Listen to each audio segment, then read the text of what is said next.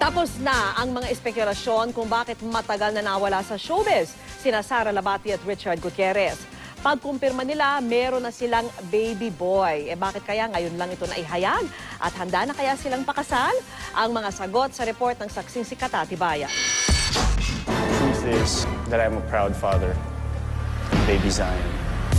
Matapos ang mahigit isang taon na espekulasyon, kinumpirma na ni Richard Gutierrez na may anak na sila ni Sara Labati. Sa eksklusibong panayam na entertainment magazine na Inside Showbiz, nilinaw ni Richard ang dahilan kung bakit hindi nila agad ibinalita ang ukol sa bata. We wanted to keep our privacy.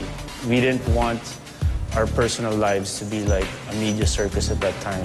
So there was a lot of pressure. Kung bakit ngayon nila napagdesisyonan na ibahagi sa publiko ang ukol kay Baby Zion. I always told people that I will admit at the right time. But you know what? During those times, I really wanted to tell people already. Ang kapuso actress na si Sara Labati sa kanyang Instagram post, ipinakilala na si Baby Zion. Pero hindi muna ipinakita ni Sara ang itsura ng kanilang uniko iho ni Chard at larawang ito lang ng kamay ni Baby Zion ang kanyang pinost.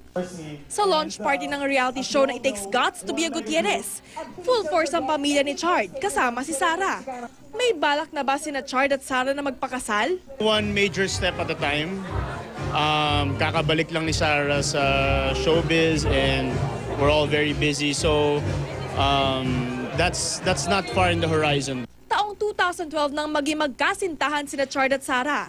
Nilisa ni Sara ang showbiz at umuwi sa Switzerland noong January 2013.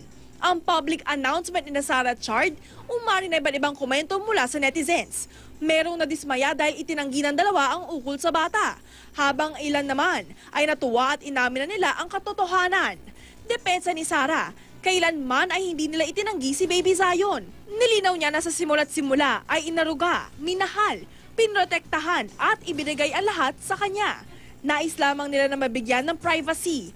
Wala na raw siyang pakialam sa mga negative o hate tweets. Ako si Katati Bayan ang inyong saksi.